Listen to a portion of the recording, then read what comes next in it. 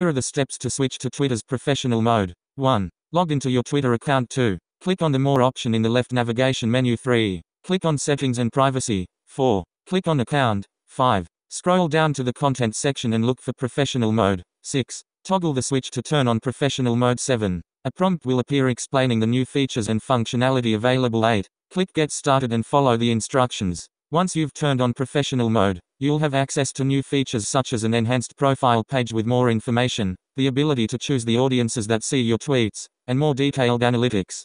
Sure, here's an alternative answer for you. To switch to Twitter's professional mode, follow these simple steps. 1. Log into your Twitter account 2. Click on your profile picture or the three dot icon in the top menu bar 3. Select Settings and Privacy from the drop down menu 4. Click on Account from the left hand menu options 5. Look for the professional option and toggle it on 6. Follow the prompts to learn more about the new features and functionalities 7. Customize your profile page with new options like pinned tweets and the ability to showcase your latest work 8. Start using the advanced analytics tools to track your audience and measure the success of your tweets. Switching to Twitter's professional mode will help you take your account to the next level by providing you with more features to grow your brand, connect with your target audience, and promote your products and services.